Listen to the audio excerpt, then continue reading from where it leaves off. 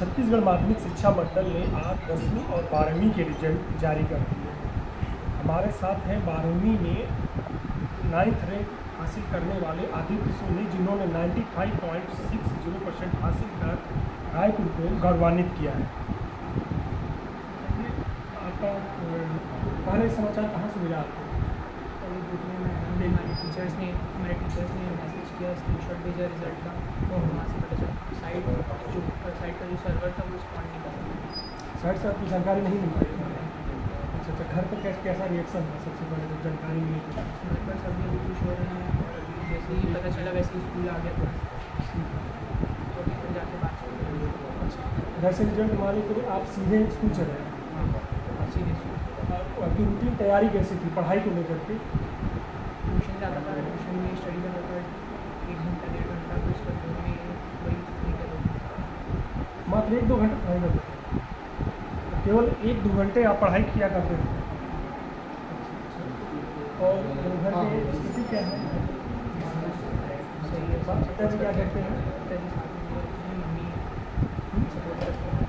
पिताजी क्या करते हैं? प्रोफेशन क्या है? प्रोफेशन क्या है पिताजी की? साथ में नहीं रहते अच्छा अच्छा और आगे की तैयारी क्या क्या बनना चाहते हैं? आपका सपना क्या है? एम क्या है? मतलब वो वकील बनना चाहते हैं। अच्छा। ये रूटीन कैसा थी आपकी पढ़ाई को लेकर के?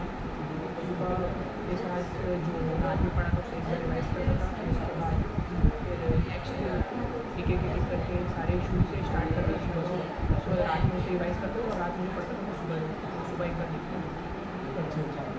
तो लाभ बनकर क्या समाज सेवा करना चाहते हैं? अच्छा अच्छा। द- दसवीं में क्या आपका परसेंटेज तो हाँ। उसको प्राइवेट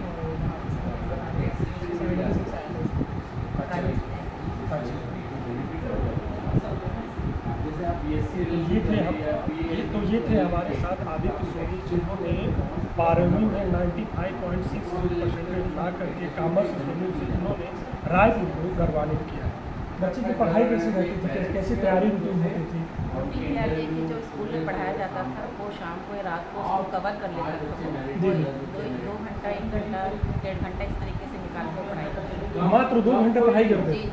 मात्र दो घंटे की पढ़ाई में 95 पॉइंट 95.60 परसेंट हासिल उनकी किया पढ़ाई भी बहुत अच्छी थी। यहाँ पर अच्छा। सभी प्रकार के टीचर्स हमेशा सहयोग करते थे सारे। कोचिंग भी पढ़ता था।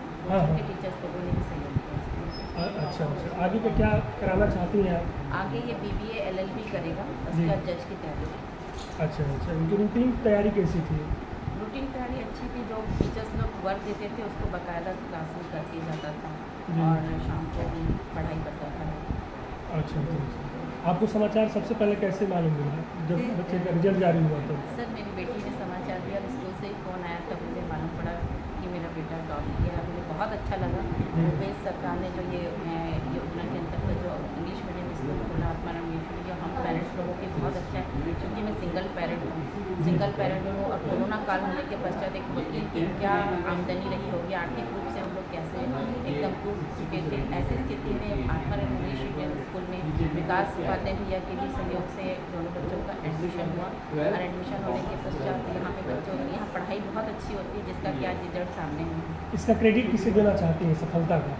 सफलता का क्रेडिट तो स्कूल के सभी टीचर्स लोग को देना चाहती हूँ भूपेश सरकार को भी देना चाहती हूँ विकास भैया और मेरे बेटे को भी देना चाहती हूँ कि उसने अपनी मेहनत को सफल किया। जी थैंक यू। आज दसवीं बारहवीं का रिज़ल्ट जारी हो चुका है। हम हमारे साथ है स्कूल के चार बताइए आज जो जारी हुआ आपके स्कूल से कुल कितने बच्चे सफल हुए देखिए मेरे यहाँ क्लास ट्वेल्थ में एक बच्चा जो है नाइन्थ पोजीशन पर मेरिट में है। जी।